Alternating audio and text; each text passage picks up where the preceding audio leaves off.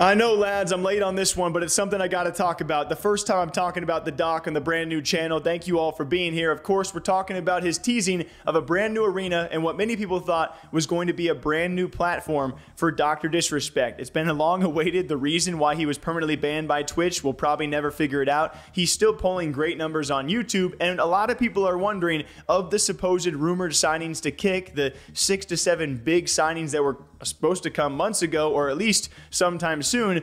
Nothing's really happened, but it was Doc teasing a brand new arena that had people thinking, okay, he's moving that YouTube arena over to Kick. Champs, got a little update for you. It's a big, it's kind of a big news. It's kind of a big announcement. You ready? It's a big one. It's a big one.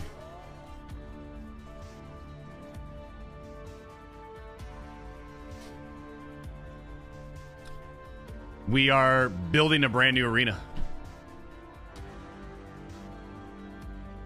It's big. It's big. It's a. It's big time. Uh, we're building it out. I just got the schematics in.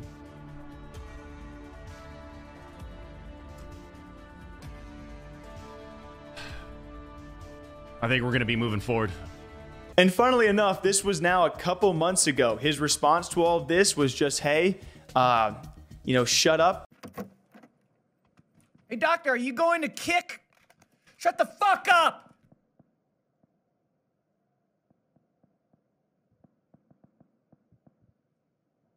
Stop asking!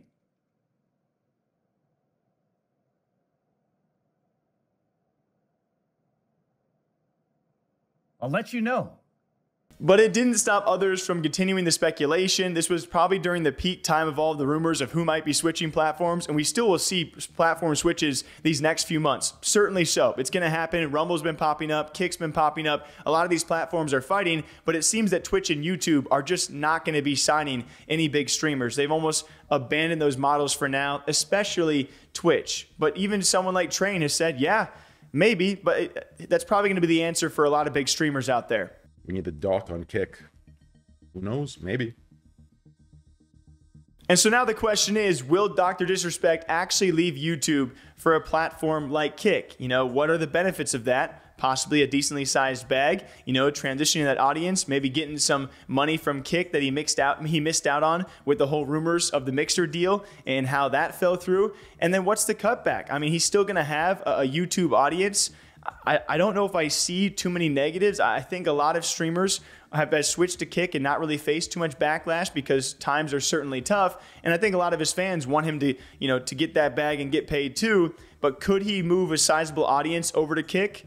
And would he fit the platform? I don't I don't know.